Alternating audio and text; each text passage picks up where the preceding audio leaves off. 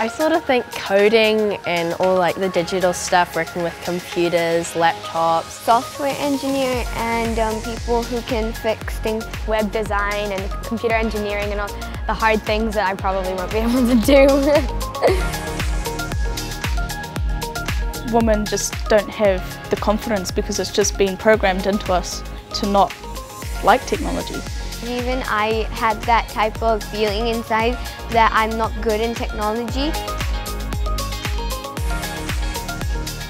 Welcome to DigiGirlz 2018. It's fantastic that you are here today because we need more girls and women in technology. Are we excited? Yeah! Come on, let's give it some. So when I first came here, I was like, Mum, why did you drag me along? I'm gonna be so bored. I was feeling kind of nervous. I didn't quite know exactly what was going to happen. We get to experience hands-on learning and we get to um, learn new things and do robotics. It's for everyone. Everyone can have a go. Everyone can do it. Like the joy when you actually get something done is like. Yes.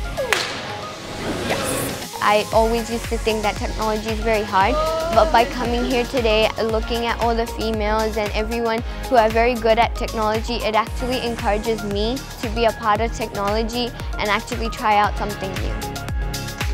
The HoloLenses was the best. I placed a unicorn on someone's head. That was great. I'm thinking of something maybe in neuroscience or biology.